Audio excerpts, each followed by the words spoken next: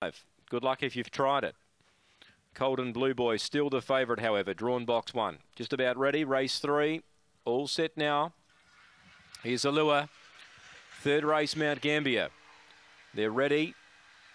And away. Now speed here from Usain Insane, but there's more speed. Golden Gown. Usain Insane went to second, three lengths away. Third, Colden Blue Boy. Uh, fourth, Outlaw Ready. Then came a front page lead. One more page, and there's two out the back. BJ Jacket and Castell's Magic. Usain Insane went around them and raced away.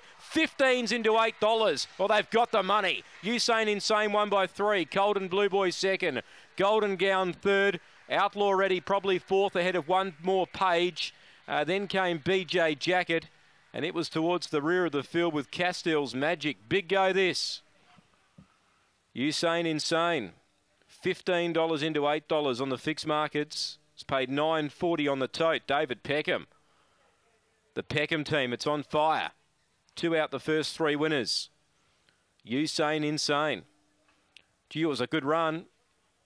It moves up down the back. It spotted the leader three lengths, but it gave them a start and gave them a beating. Number five, heavily backed.